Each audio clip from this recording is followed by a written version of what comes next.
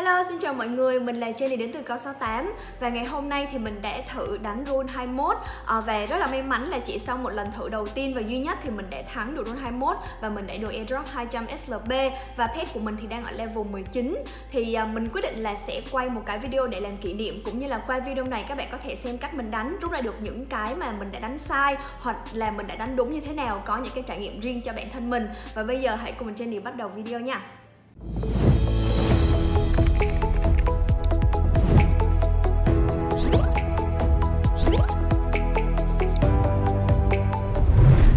Những bạn nào mà lần đầu tiên xem video của mình thì các bạn đừng quên đó là hãy tham gia cộng đồng sao 8 gaming. Link của cộng đồng này thì mình sẽ để ở bên dưới phần description các bạn nhớ join group nha. Thì đây là group gọi là public luôn. Tụi mình sẽ uh, ghi ra những cái đánh giá review những cái chia sẻ những cái scholarship cơ hội kiếm tiền chẳng hạn dành cho tất cả các bạn. Thì các bạn nhớ tham gia group để uh, gặp các admin tại đó và gặp Jenny tại đó nha. Và bây giờ thì mình sẽ bắt đầu video ngày hôm nay.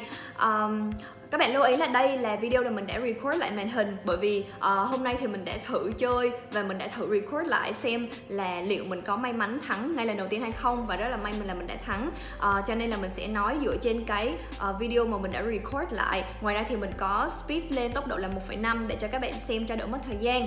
Uh, sâu qua một tí đó là axi của mình uh, đang ở đội hình như thế này và mình đã kiểm tra là ban đầu mình có 502 SLB uh, đội hình của mình là Plan, Beast và Bird và level của mình đang là nửa cây level 19 thì mình đã dùng hết 3 energy để đánh hết 50 trên 50 SLB rồi và bây giờ mình sẽ thử đánh uh, rune 21 để xem có thắng hay không uh, rune 21 sẽ chia thành 6 vòng nó khá là đặc biệt và mỗi vòng chỉ có một con quái thôi. Uh, bạn nào đã đánh những cái rune trước thì chắc là biết hết mặt những con quái này rồi nhưng mà trùm cuối ở vòng cuối cùng nha xem con trùm cuối.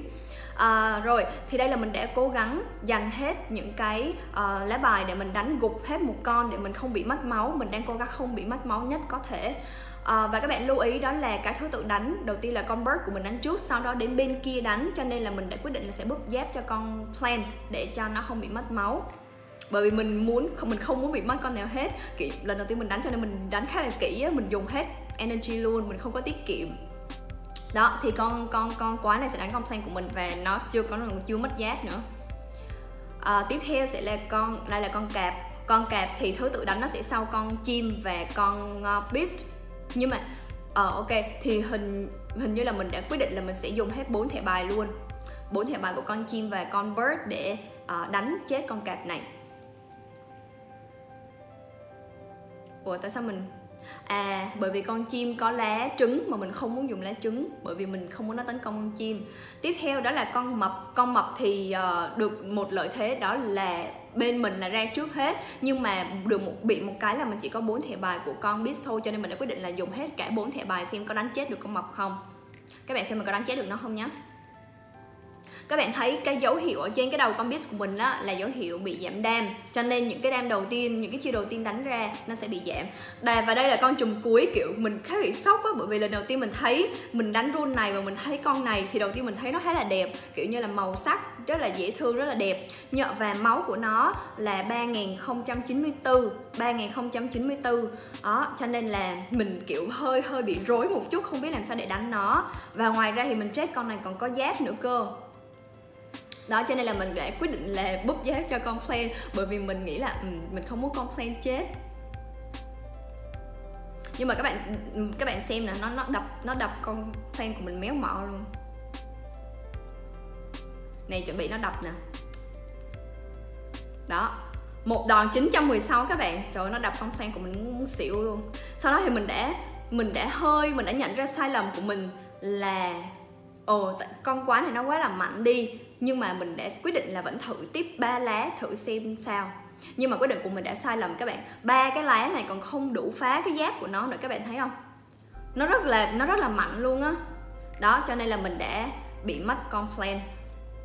Và sau đó mình đã uh, kiểu như là mình đã ngộ ra, mình đã ngộ nhận ra một điều đó là mình phải dồn đam lại để tấn công, để giết con này. Không thể nào mà cứ giết ba lá một, ba lá một mình sẽ chết. Cho nên là mình sẽ quyết định là end turn để mất con plan và mình sẽ dồn đam lại để giết con quái này.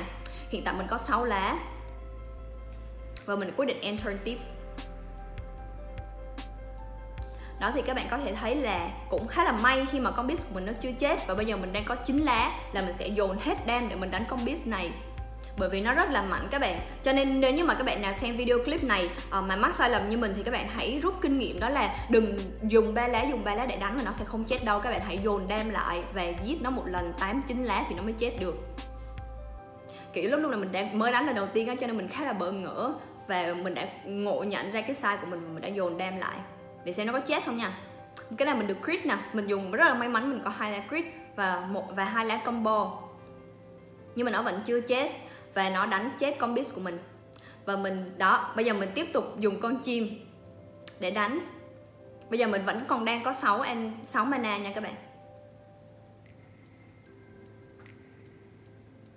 Dùng ba lá của con chim thì sẽ giết được con này. Rất là may là nó không có bút giáp cho nên là mình đã đánh hạ gục được con quái.